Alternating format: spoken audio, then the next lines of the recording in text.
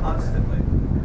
It can spot a fish on the surface of the water from 50 to 60 feet above the water.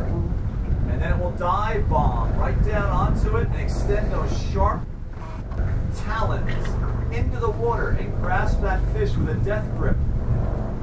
And then fly off with that fish and tear it apart on a nearby tree. You can see those talons, and he's a little antsy right now because we're kind of close.